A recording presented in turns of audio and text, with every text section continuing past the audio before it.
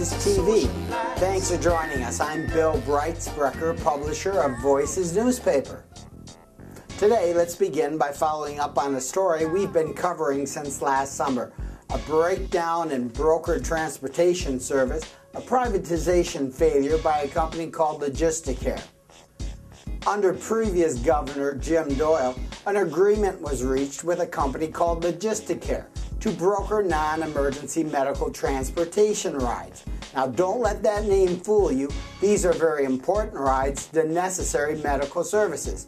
Failure to get this transportation does result in severe hardships for the people involved and actually can, directly or indirectly, lead to loss of life. Recently, the Senate Committee on Health, Revenue, Tax Fairness, and Insurance had an information hearing in Milwaukee. I've heard from many constituents who have shared with me concerns uh, related to uh, how services have been provided, uh, related to Logisticare, and, um, and potentially even some things that have been um, health threatening. We have heard from a number of community partners who have clients with similar challenges. Uh, so let me preface my remarks by saying that DHS staff and Logisticare have come to the table and are working with DRW to resolve these concerns. However, there's plenty of problems still ongoing.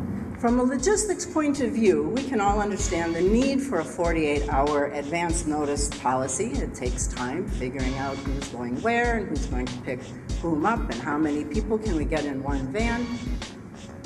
Um, and in time, I think patients will understand this as well. They've been a tad spoiled with the HMOs who allow them to call the day before an appointment and get a ride. In time, they'll get used to calling two days in advance. But I've talked to many patients who are not able to get, oh, but from the care perspective, exceptions to the 48 hour advance notice policy must be granted. I've talked to many patients who are not able to get a ride because they called less than two business days. No one cared about why they weren't able to follow the policy.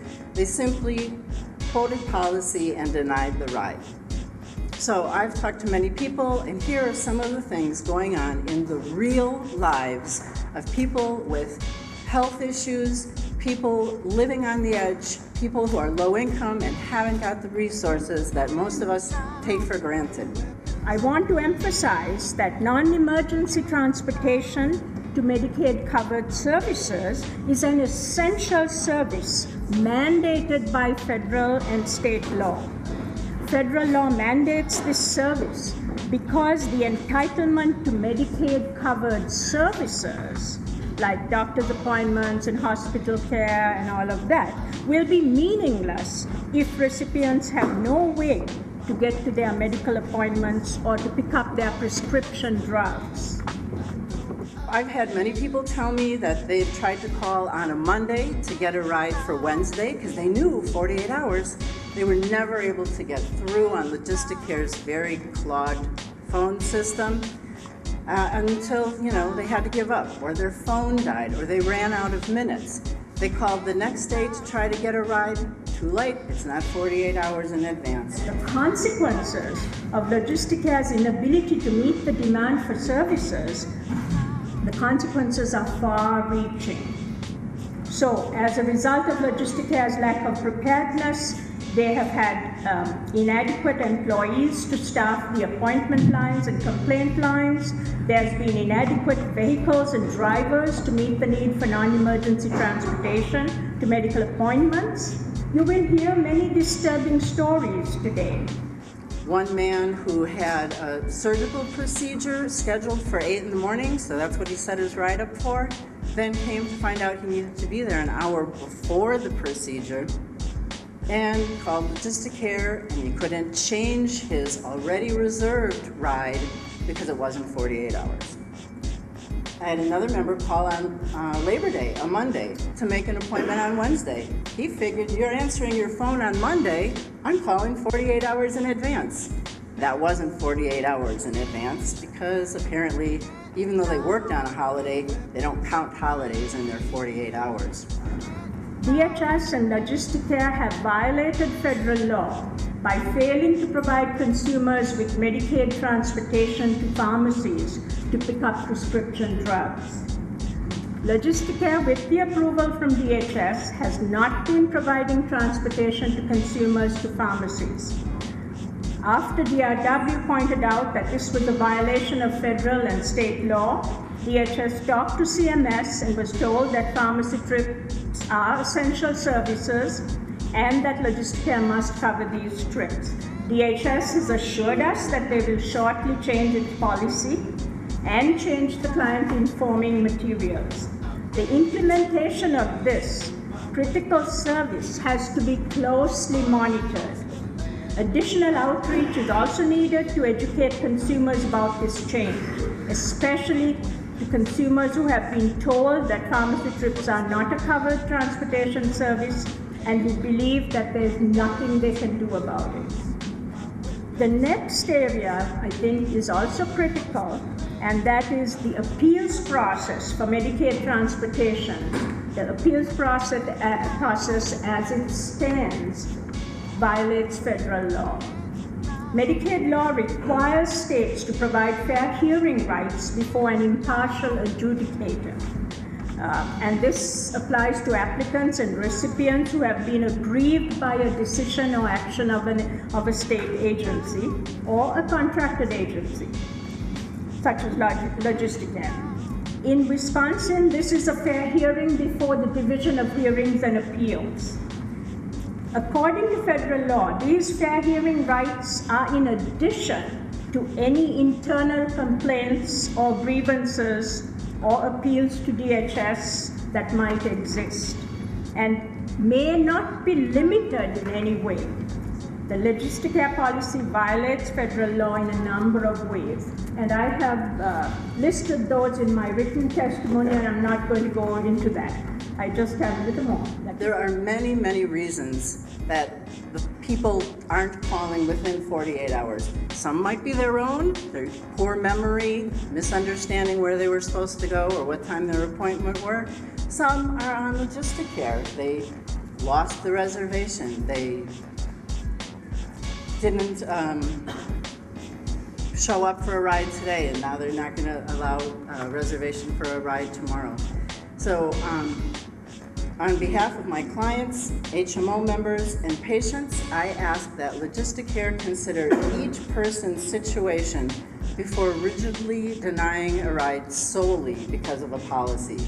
Use care and listen to what's going on in their lives and allow reservations to be made regardless of the policy when the situation warrants. So, the next problem DHS and Logisticare have violated federal law by failing to provide consumers with Medicaid transportation to pharmacies to pick up prescription drugs. Logisticare, with the approval from DHS, has not been providing transportation to consumers to pharmacies. After DRW pointed out that this was a violation of federal and state law, DHS talked to CMS and was told that pharmacy trips are essential services and that Logisticare must cover these trips. DHS has assured us that they will shortly change its policy and change the client informing materials. The implementation of this critical service has to be closely monitored Additional outreach is also needed to educate consumers about this change, especially to consumers who have been told that pharmacy trips are not a covered transportation service and who believe that there's nothing they can do about it. The next area, I think, is also critical, and that is the appeals process for Medicaid transportation. The appeals process, uh, process as it stands violates federal law. Medicaid law requires states to provide fair hearing rights before an impartial adjudicator. Uh, and this applies to applicants and recipients who have been aggrieved by a decision or action of, an, of a state agency or a contracted agency, such as log- Logisticare. In Wisconsin, this is a fair hearing before the Division of Hearings and Appeals. According to federal law, these fair hearing rights are in addition to any internal complaints or grievances or appeals to DHS that might exist and may not be limited in any way. The Logisticare Policy violates federal law in a number of ways.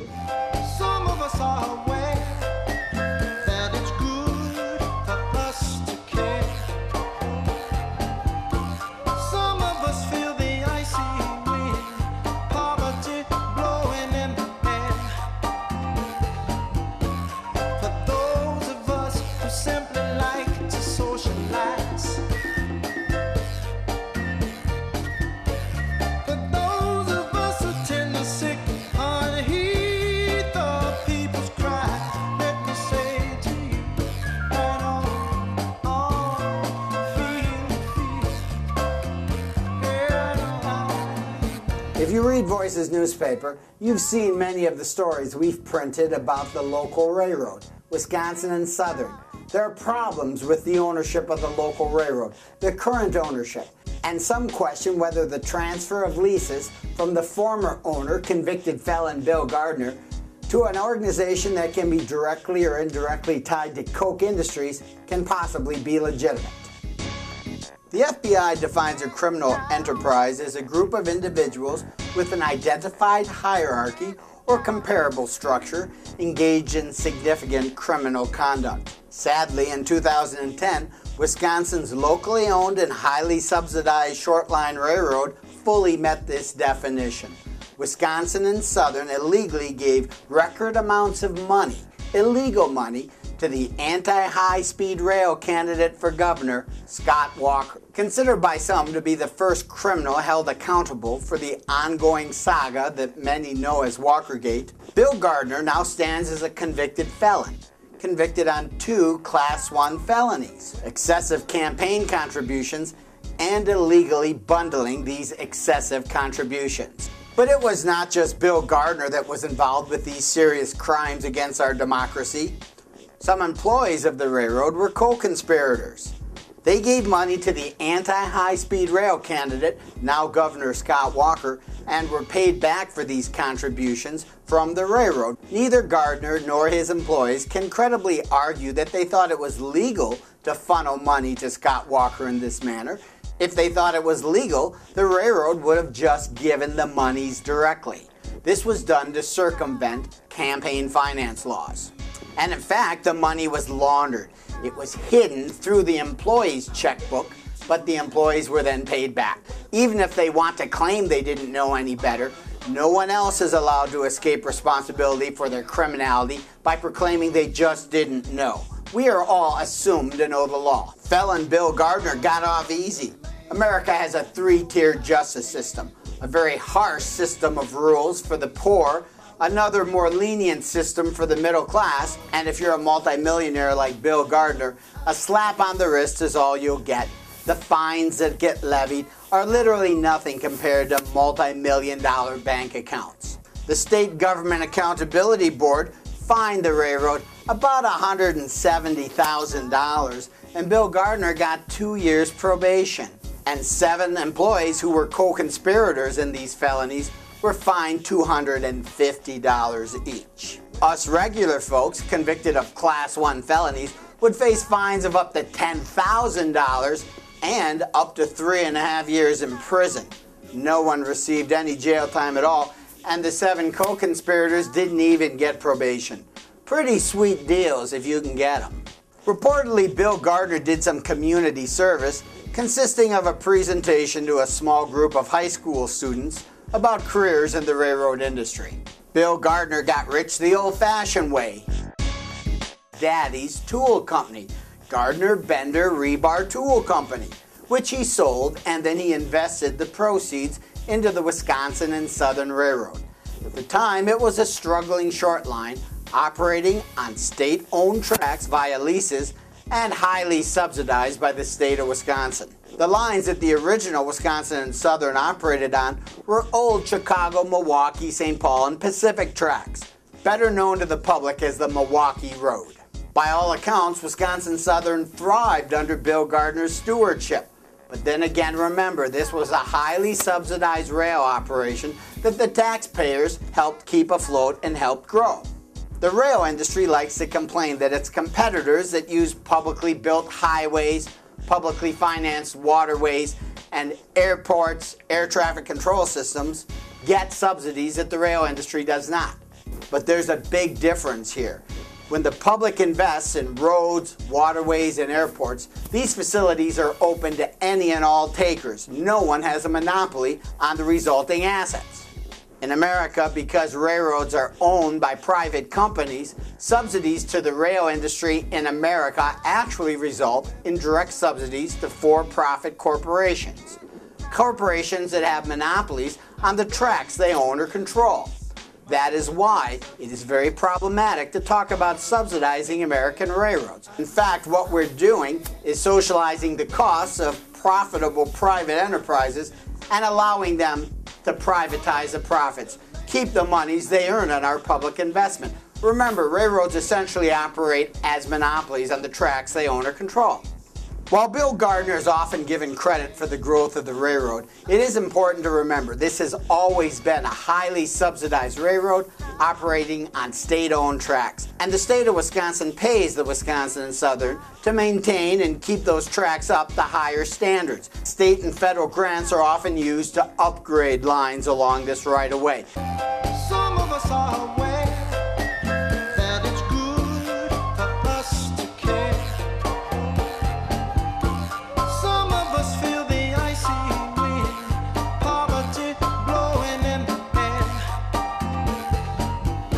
flags went up in December 2011 when the media started reporting that the Wisconsin and Southern Bill Gardner's ownership in this railroad was being sold to Watco, a holding company out of Kansas, the largest transportation holding company in the world. Because Watco is a privately held international holding company, Details about who owns it directly or indirectly are not public record. The same is true of Bill Gardner's ownership in Wisconsin Southern. Private enterprises are not required to open their books or to be scrutinized by the public. The fact of the matter is, no one can actually verify who has controlling interest directly or indirectly of either of these corporate entities. The media did not report the Watco, Wisconsin and Southern transaction promptly. This created another problem. The Federal Surface Transportation Board, which has to approve all rail mergers and acquisitions in America, placed approval on a fast track schedule, only allowing a one week window over the holiday season for comments and concerns to be brought forward to be considered in the decision whether or not to approve the merger, the acquisition actually, of Wisconsin and Southern by Watco Transportation. Of course, Bill Gardner, Wisconsin and Southern, Watco, and Scott Walker's DOT all had an opportunity to put comments and information into the decision process that made it look like there was nothing to see here and that there were no concerns. This was going to be a routine, simple acquisition. This was actually wholly untrue. And when a group of legislatures filed a letter demanding a 60 day waiting period so that a reasonable investigation could be done and appropriate information be given to the Surface Transportation Board, this letter, this request was denied because the approval had already been a done deal. The window of opportunity to put information on the record was over. Curiously, these legislatures, led by Assemblyman Brett Hulsey, no longer have any interest in this affair at all and have washed their hands of anything to do with the Watco Wisconsin Southern merger acquisition. The Honorable Cynthia Brown at the Surface Transportation Board had no choice but to approve this acquisition because nothing was on the record that indicated there might be any concerns whatsoever. Now remember, there are two ways to mislead. There are lies of commission, meaning people actually say things that are false, and then there are lies of omission. That's when information is withheld, left out, so that a story is not actually complete. To some, it appears that the Surface Transportation Board was fully misled through this approval process. Kathleen Chung of Wisconsin's DOT clearly stated on the record that there were no concerns in the sale at all and that the state of Wisconsin was going to bless it as totally a good thing. Perhaps this was a lie of commission, but we'll explain that later. There are also lies of omission, and the Surface Transportation Board was never told that Bill Gardner was a convicted felon, and he was actually on probation and was now selling his ownership in the railroad for millions of dollars in a secret deal, literally making multi millions of dollars on his crimes. The crimes of bundling campaign contributions in excessive amounts for the anti high speed rail candidate, Governor Scott Walker. Remember, there is an ongoing state investigation, a John Doe probe, into the criminality that appears to underlie Scott Walker's ascent to power. There are also reports that a federal investigation is underway as well. To many, it appears that the Gardner bundling was actually part of a massive pay for play scheme that directly benefited Governor Scott Walker. Scott Walker's DOT did not bring up any issues related to the validity of the leases that Bill Gardner was selling. Because remember, the Wisconsin and Southern is a paper railroad that largely operates on state owned tracks, which are leased through leasing agreements through a small number of transportation authorities. Not only does the Wisconsin and Southern lease most of its right of way, but the state of Wisconsin actually heavily subsidizes the maintenance and improvements of these trackage and lines.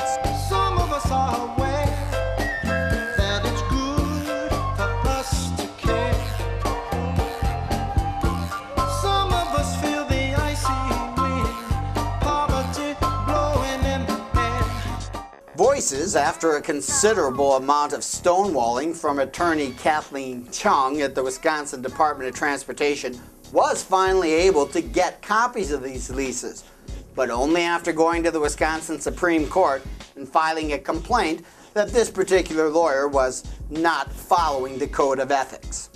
The leases that Voices was able to obtain clearly have clauses in them, representations that the operator, the owner of these leases, cannot commit crimes out of operations. Yet here we have Bill Gardner, the owner of the Wisconsin and Southern, illegally bundling campaign contributions in record amounts for the anti high speed rail candidate, giving money to Scott Walker illegally directly from rail operations. While Scott Walker's DOT claims that these issues were all addressed and resolved, the fact of the matter is none of this is anywhere on the public record, and this was all withheld from the Honorable Cynthia Brown, the woman who approved the merger at the Surface Transportation Board. The decision issued by the Honorable Cynthia Brown clearly contained clauses to allow petitions to revoke this approval to be filed if it can be shown that information provided the board during the fast track approval process was either misleading or was not complete. An objective look at the record clearly suggests that there was misleading information provided to the Surface Transportation Board, and Cynthia Brown was given anything but complete information. Since that decision was rendered, the Capital Times, which is a Lee Enterprise publication, actually part of Wisconsin State Journal, a right wing newspaper in Madison, Wisconsin, has verified that Bill Gardner has now sold the remaining interests of his ownership in Wisconsin and Southern. Reportedly, the entire deal for all of his ownership shares was about $70 million. To some, it appears that Gardner was forced out of the Wisconsin and Southern by Watco, the largest transportation holding company in the world. The Capital Times initially reported their story this way. However, they seem to have had a change in heart and have now printed a story that seems to question everything else they have ever reported on this sale. An important part of this story is that Watco Transportation's own documents directly state Koch Industries, also out of Kansas, is their largest customer. That's the Koch brothers, the folks that poured hundreds of millions of dollars into Scott Walker's recall and his election in 2010. Perhaps more significantly, Capital Times has reported that one of the reasons Bill Gardner stepped down is because he didn't appreciate the way he was treated as Watco started to integrate Wisconsin and Southern in a manner that was going to connect it with its other rail lines and its corporate operations.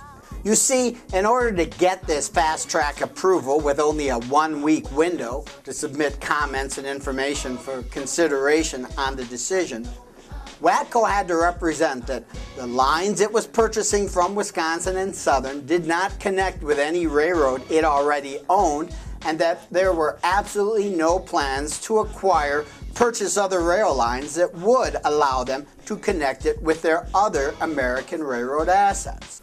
A petition to revoke this approval is being prepared to file with the Surface Transportation Board, and some preliminary documentation and documents have been forwarded to Cynthia Brown to start this ball rolling. The record will clearly show that because of the way the approval process was structured, important information was left off the record. And some contain the information provided to the Surface Transportation Board is outright misleading. Curiously, Wisconsin and Southern has an advocate, essentially a lobbyist that is employed directly by the state of Wisconsin, but who answers to what is now the largest transportation holding company in the world, a private interest that is directly tied to the Koch brothers via the volume of business this company does with the other. This is another reason to revoke the sale of Wisconsin and Southern to Watco Enterprises. It is not right that the taxpayers are not only subsidizing the operations of this railroad, but that they are actually paying a lobbyist in the state capital to advocate for their best interest with no accountability to taxpayers and the public at large. It is not our intention to question responsible investment in transportation and even railroad infrastructure. But this deal does not pass the smell test. If the largest transportation holding company in the world, WATCO, wants to run Wisconsin and Southern, they cannot be allowed to purchase leases that reasonably appear to have been broken and continue to operate a highly subsidized railroad when in fact they now have the efficiencies of a worldwide privately held corporation behind them. To those that would contend stories like this are somehow partisan, let's be clear. This is about the rule of law this is about fiscal responsibility. This is about accountability, personal accountability, and corporate accountability. This story is actually about the rule of law. And does it apply to multinational privately held corporations, or does it just apply to you and me as individuals?